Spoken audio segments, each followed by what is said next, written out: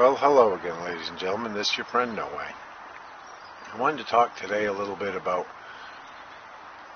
life and how people think it's so complicated. Well, the only ones that make it complicated are, well, you yourself. There are many things in this world that they're not complicated.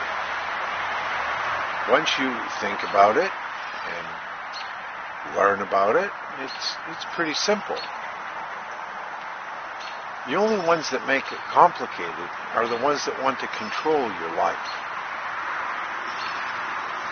Yeah, my uh, my companion, the, the little puppy, or she's not little anymore. She's a good-sized dog. It's the people that make your life complicated are the ones that have an agenda. They want to make your life complicated because they want you to look to them for the solution. But the solution that they're going to give you is not in your best interest. Why are so many things being lied about today? Why are why is the truth being hidden? Because there is an agenda. We can see that playing out around the world all these politicians and these media talking heads. Sorry for the, the vehicles.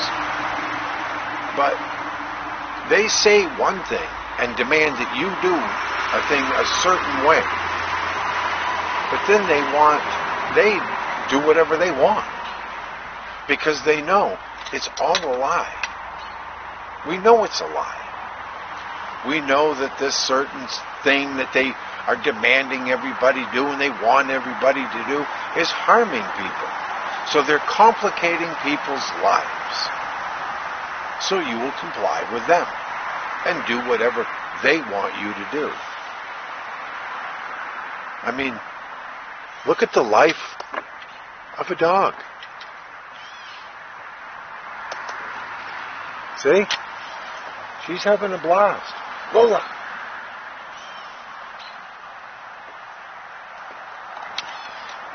Life's not complicated for her now. Life's not complicated for her now, is it? It's not complicated for her at all. Okay?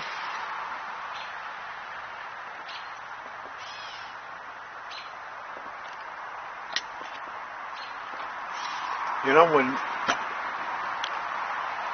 when my son first got the, the dog and yes, it was very hard. You you have the responsibility but you have the opportunity to train the dog.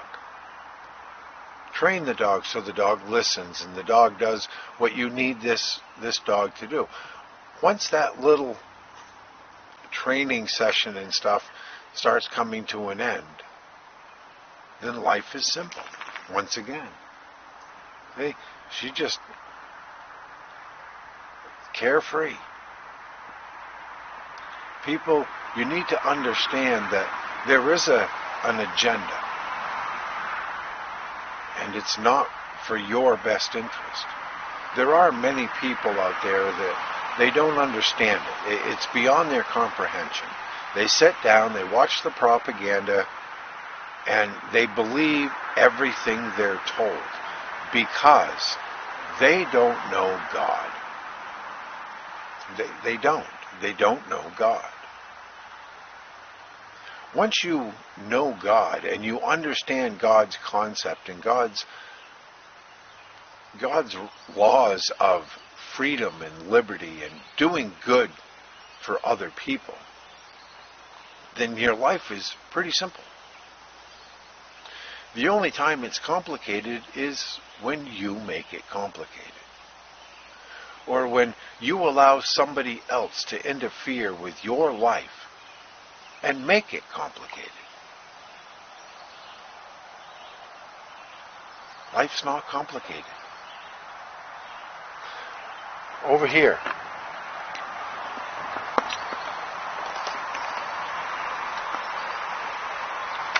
This is a race car. It's a race car that was never raced because it's used as a show car. It's very fancy. Got a big fancy engine. Now, my son did blow the engine. Okay? You may think it's complicated to rebuild this engine, but it's not. It, it's not as hard as you may think. Once, once you learn, once you learn about this kind of thing, then to do it and fix it and build, rebuild a, a new engine, it's not as hard. It's time consuming and you have to pay attention. It's just like your life. You have to pay attention to what's going on. You have to stop allowing other people to make up your mind for you. Just because you saw it on TV does not make it real. Do you know that our own government gave the media the right to lie to you? Why, in 1986, did the CIA director come right out and make the statement of, we will know the disinformation program is complete when everything the American people know to be true is false. And everything people strongly believe in today that is true is false.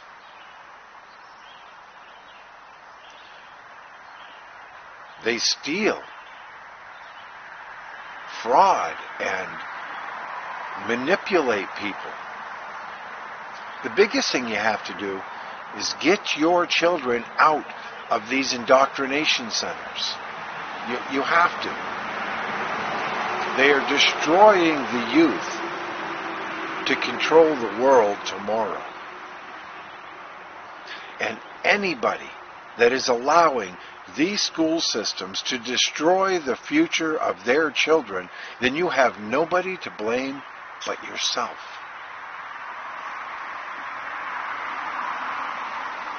It's that simple. You really need to pay attention to what is going on. There is a reason why they are pushing this certain thing, and you know what it is. They're pushing it harder than a, hero, a heroin dealer pushes you to take his drug. Because the more you take his drug, the more you want that drug. And the more money and power he has over your life. We are no longer being allowed to make up our own mind because these delusional people that call themselves a government want to control you. And if you look at certain agendas around the world, you will know why 90 to 95% of the population of the world must die. They're all done. They don't want this freedom. They don't want you to to live a life and have a life and have things. No. They're that greedy that they want it. They want it for themselves. And they need the slaves to provide it for them. They're very delusional, sick-minded people. Very. And this all has to stop. And it will not stop unless you stop it. There are people out there. Why does the Bible teach us to turn from these egotistical, high minded liars, deceivers? Because if we continue to dwell with them, then we will become like them turn from these people. I know it's hard, but you can't keep feeding their delusion. You can't you can't continue to feel like you can help them change. They're not going to change. They get up in the morning and they turn on their fake news and their propaganda and they hate you because some propagandist told them to hate you. Why did they hate Jesus so bad? because Jesus was a threat to their authority and their power over the people. And the people believed their leaders. So they hated Jesus as well. But what happened because the truth kept being told, not just by Jesus, but by many other people? It caught on. Now, here, 2,000 years later, many, many people believe in Jesus. But because of the corruption of our society and our churches and our government, people now do not even believe in God the way God wanted to be, us to believe in Him. They don't believe that truth anymore because it doesn't fit their egotistical mentality. We have to learn that life is not complicated. We have to stop complicating our own lives. Once we stop complicating our lives, it all falls into place. And we can be like the carefree puppy of eight months.